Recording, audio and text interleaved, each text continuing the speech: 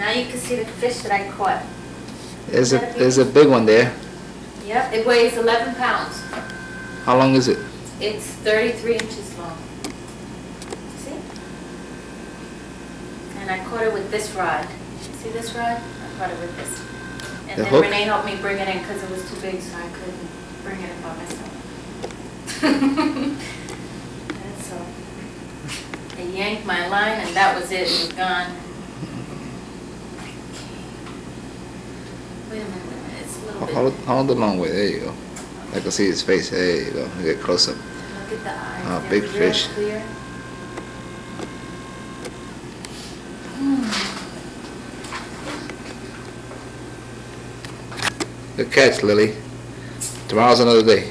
Tomorrow's another day. If I catch another one like this for the whole year, I'd be in good shape.